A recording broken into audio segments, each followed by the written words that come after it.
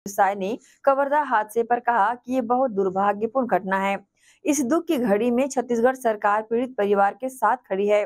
हमने निर्णय लिया है कि प्रत्येक मृतक के परिवार को पाँच लाख रुपए और घायलों को पचास हज़ार रुपए शासन की ओर से दिए जाएँगे।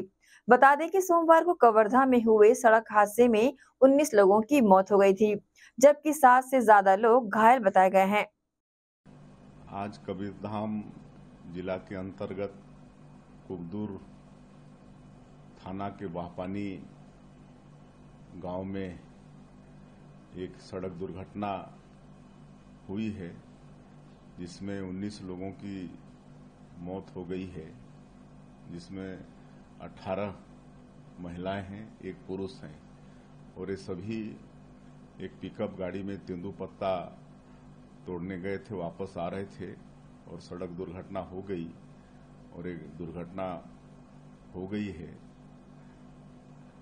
और हम सभी लोग इस दुर्घटना से बहुत दुखी हैं और भगवान से प्रार्थना करते हैं कि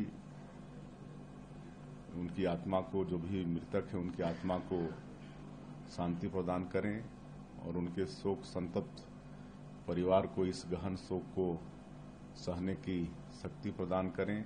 और जो घायल हैं उनके भी शीघ्र स्वास्थ्य होने की भगवान से प्रार्थना करते हैं और इस दुख की घड़ी में छत्तीसगढ़ सरकार पीड़ित परिवार के साथ खड़ी है और हम लोगों ने निर्णय लिया है कि प्रत्येक मृतक परिवार को पाँच लाख रुपये और जो घायल हैं, उनको पचास हज़ार रुपया शासन की तरफ़ से देंगे।